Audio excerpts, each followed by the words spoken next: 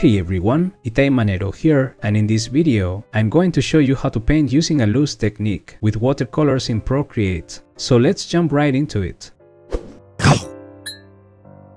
In order to achieve this, I'm going to be using the Watercolor Experience brush set for Procreate. You can find it along with a free mini version for you to try out on my Gumroad page through the link in the description below. I have just released a new update for the full version of this set that includes 6 new watercolor wash sheets and 4 new watercolor brushes. We are going to be using one of these new brushes a lot in this video and also one of the new watercolor wash sheets. This update is of course free for all previous customers of this set, so if you are one of them, make sure to check your emails for more information on how to get the new files. For today's painting, I'm going to be using this beautiful photo referenced by Garreth Paul. You can also find a link to download this reference in the description of this video in case you would like to follow along. The first thing I'm going to do as always is to prepare my canvas. I will be using my usual 8.5 by 11 inches canvas size at 300 dpi. I'm going to import the paper texture called white cotton watercolor paper that is included with this set. Then I'll set this layer to multiply mode.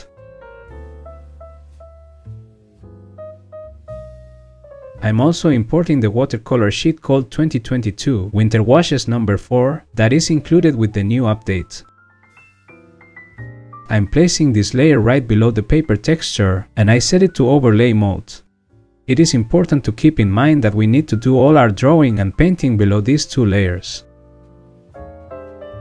Before we continue, remember that you can see what brush I'm using at all times by looking at this rectangle here Using the grainy pencil brush from the watercolor experience set, I'm blocking out the main elements in the picture. I'm mostly translating to the canvas the proportions and relationships in size of all the objects with each other.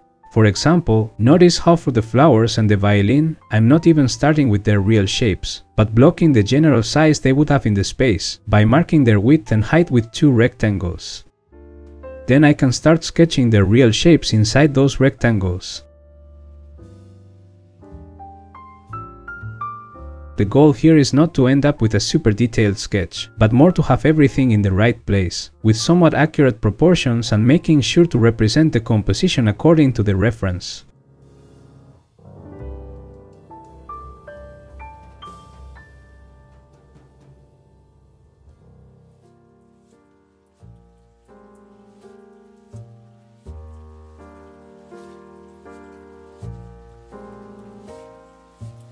Once I have the sketch finished, I'm going to alpha lock this layer, color fill it with blue, and lower the opacity. I like to do this so that I can see my lines better on top of the sketch when I'm inking. I use blue, but you could use any color you like, because we can hide this layer when the ink is finished. For the inking part, I'm going to use the bleeding pen brush because my goal is to make a very loose type of watercolor painting. I want my inking lines to also be as loose as possible, so it is important that my hand is very relaxed. I want to do my lines with a little bit of a careless attitude, so I'm not going to care so much about undoing my lines. I don't want them to be perfect, so if a line doesn't go as I expected, I will let it be.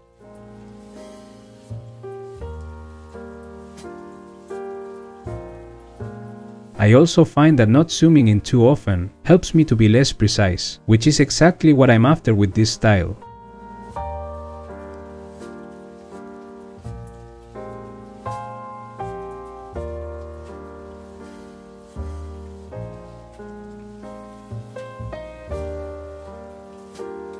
Another thing I'm trying to do is to have the right amount of detail, not too much, not too little. I want the objects to be recognizable, but with just the right amount of lines that hint at the details without giving it all away.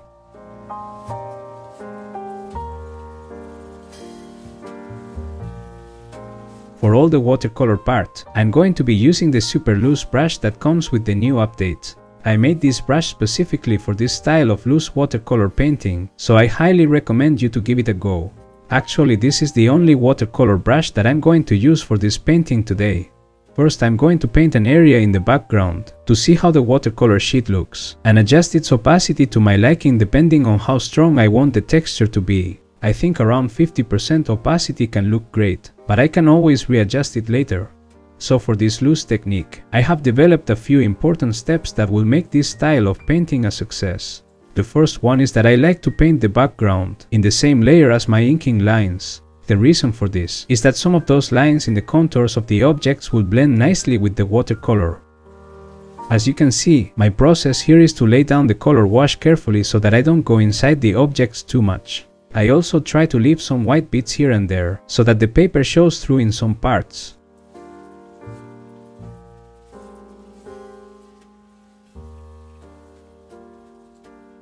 I keep slightly changing the color as I lay down the watercolor wash, and using the smudge tool with the same brush to blend some of those colors in the areas they overlap.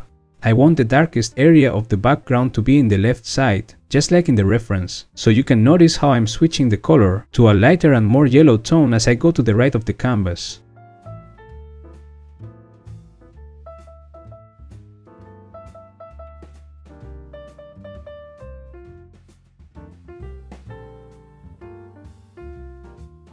It is important to not try to cover the whole white of the paper I like to leave all those areas surrounding the image uncovered, and I use the smudge tool to blend those edges with the white of the paper. The nice thing about watercolor is to mix hard with soft edges, so don't blend everything away. Leave some parts with a harder edge, like I'm doing here. Now I'm painting the pot and the flowers, and notice that for the rest of the painting I'm already painting on a single layer below the inking lines.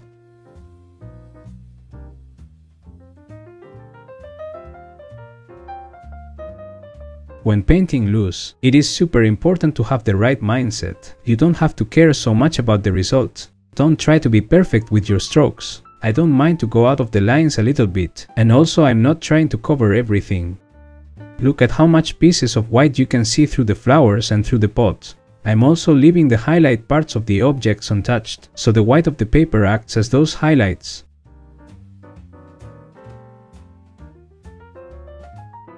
Another thing to mention is that I'm only using the blending tool very sparely. I do most of the work with just the paint tool and the super loose brush and using the smudge tool only when I want to mix some of the colors, but mostly I like to leave those hard edges and let the colors blend with each other naturally due to the transparency of the watercolor.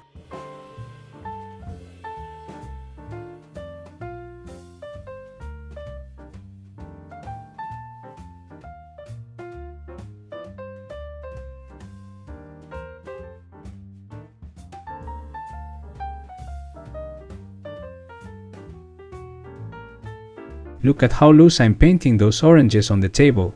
Because they are small elements in the composition, I could get tempted to zoom in to be able to paint the details better, but I'm refraining myself.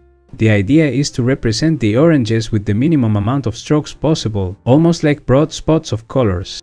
You can also see that I'm painting outside of the lines a little bit, and I don't mind it.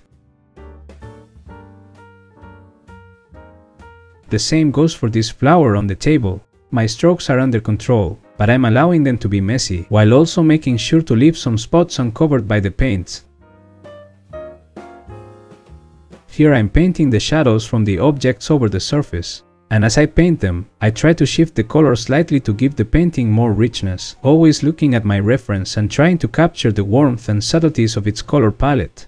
I'm using the smudge tool to blend some of those overlaps between colors too, to paint the wooden surface of the table, I'm trying to choose warmer and slightly darker colors for the part in the back, and lighter and more light orange tones for the front area, as we can observe in the reference. Then I go in with a darker brown color to add more variation in some spots near the objects. As you can see, even in the table, I'm leaving some little pieces of white from the paper untouched in those areas where the colors would touch the previously painted places.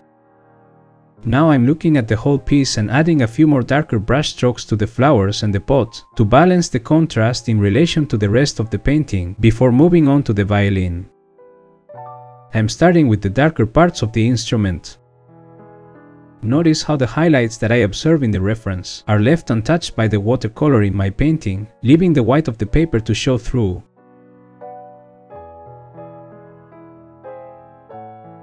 I'm doing the same thing for the body, while changing the color more often to reflect the richness of colors and tonalities we can see in the reference. My process here is to place spots of color and then blending them together in some spots. It's important to not overdo the blending. Remember to let some hard edges be a part of your painting.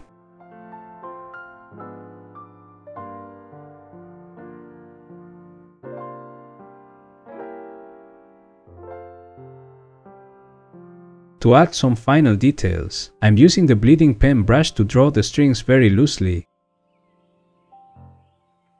and a couple of splatter touches using existing colors from my painting like grey, brown and white.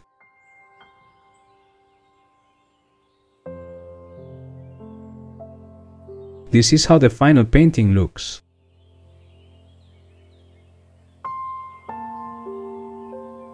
I thought on quickly showing you a couple more paintings I did, using this exact method we just went through. This one was also based on a photo referenced by Garreth Paul,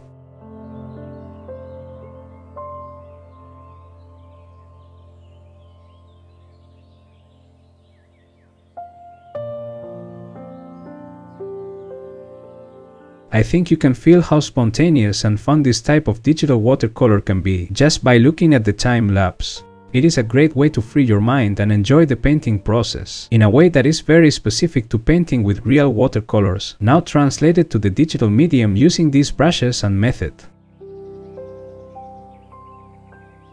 Here's a different type of subject, painted from a photo referenced by Alexander Grigoriev. I think it could be really fun and interesting to keep some kind of art journal using this watercolor technique. None of these paintings I'm showing you took me more than 30 minutes to make, so it can actually be a really fast but beautiful way to work or take quick visual notes. Anyway, I really hope you enjoyed this video and that you give this technique a go yourself. If you use my brushes and post your art on social media, feel free to use the hashtag ManeroBrushes so that I can see what you create. I will be extremely happy to share your creations with my audience.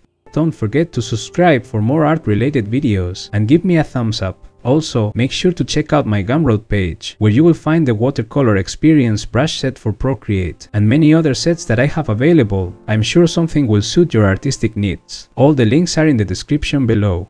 Okay, thank you for watching, see you next time.